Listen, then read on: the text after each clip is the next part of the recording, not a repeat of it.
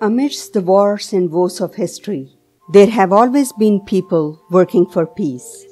People who ignited the sparks of hope and brought serenity to the nations, whose only calling, despite the odds, is peace. People who have faced different challenges and pledged themselves to keep the torch of hope burning and shining. This story is about one such person. His name is Mohammad Jamous.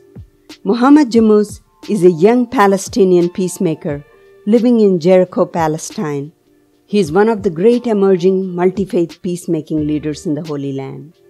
He coordinates programs, interfaith events, peace journeys, and intra Palestine peacemaking events. Mohammad believes that everyone deserves a decent life, a life full of love, equality, with the fulfillment of the dreams they have always dreamed of.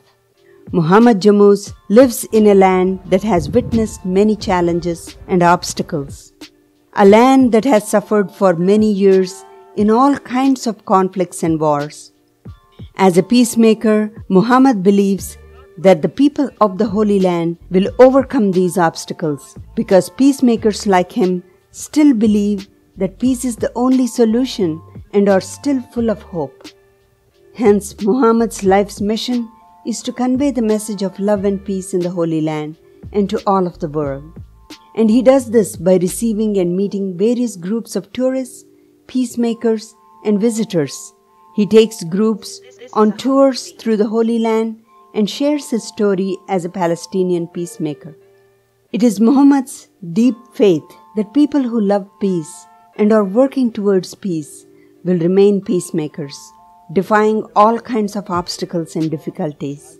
And they will continue to run programs that bring people of different faiths together, regardless of any circumstance.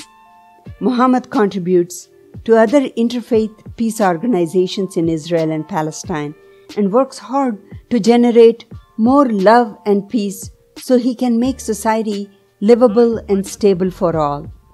He has written many beautiful articles and posts on social media, enlightening many people about the situation between Palestinians and Israelis and the people in the Holy Land. Mohammad's call to others is to do everything you can for peace and justice, for the good of humanity and all the creatures of this world. Mohammad Jamous, a peacemaker.